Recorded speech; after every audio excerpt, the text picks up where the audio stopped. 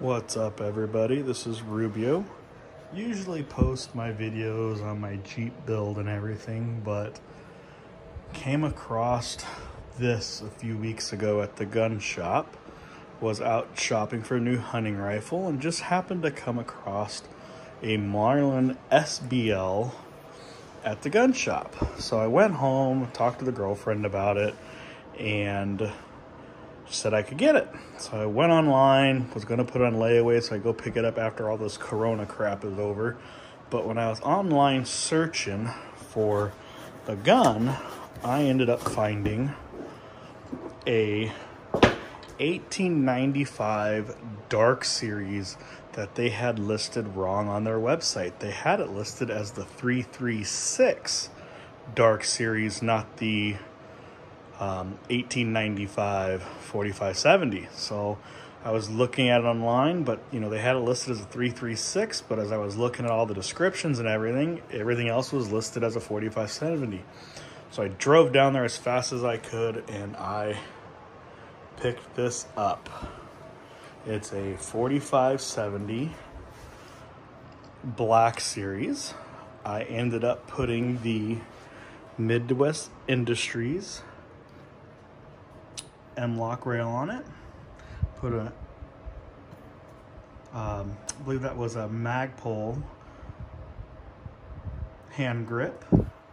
Um, and I haven't done anything else to it, but you know, comes with the standard um, paracord strap, which is actually very well made. I got a buddy who makes these, and these are actually, love the way they design, and they got a nice tight webbing on it when they did it. There's not loose, and um, I would have to say Marlin did a great job. Did put a Vortex scope on it. Um, you know, the only thing I have to say I don't like about the gun is this.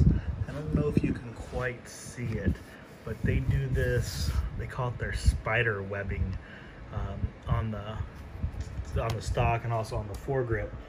But I took, I said I took the foregrip off, but um, it kind of makes it look like the gun's not finished, but it's different. I thought about taking it, sanding it down, and having it re um, Cerakoted or something to it. But you know what? That's the style that it is. That's what people want. So I'm just going to leave it like that. Has the big loop with the paracord on the loop too. Um, beautiful gun. Got me some shells right there. Have not had a chance to shoot it yet.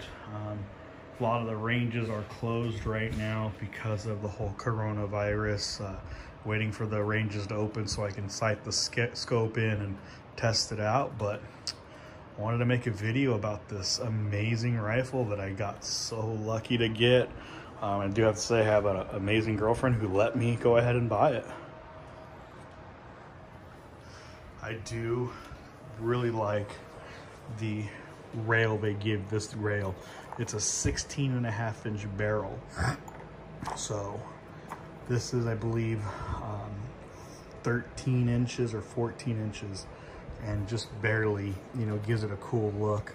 Um, does have the threaded muzzle, so you can put a can on it if you want to or something, but haven't decided. I thought about maybe getting a can for it. And, but this is my new hunting rifle.